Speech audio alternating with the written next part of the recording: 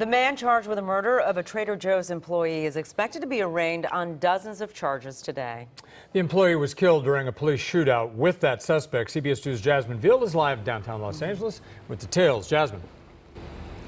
Yeah, Jeff and Sharon. So the arraignment for the suspect, Gene Atkins, was delayed last month until this morning because of all the evidence that they had to sift through and the fact that new charges were added. So today, Atkins facing not only a murder charge, but he's going to have to answer and make a plea to some 50 counts of attempted murder, carjacking, holding people hostage on that July afternoon. Take a look. This is Atkins in court from an earlier appearance. On July 21st, Atkins is accused of engaging in that running gun battle with police that ended outside the Silver Lake Trader Joe's when he crashed into a pole. It was there as Atkins ran into the store that 27 year old assistant manager Melyda Corrado was struck and killed by police gunfire as she went outside to see what was going on.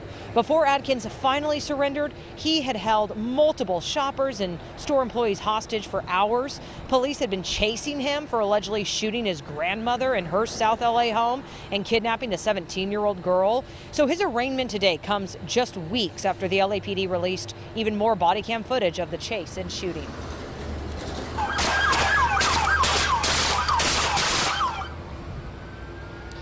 And these videos show only parts of the intense 14 minute long car chase and gun battle. Lawyers representing the family of Mely Corrado have called the video a slanted public relations piece, and they have requested that the department turn over all of the unedited footage and documents, which the LAPD says they cannot do during this active investigation. So again, the suspect, Gene Atkins, expected to finally be arraigned on all those dozens of counts later this morning. And Jeff and Sharon, he is being charged with her murder, even though he did not fire that fatal shot because under state law, he is accused of starting the deadly chain of events.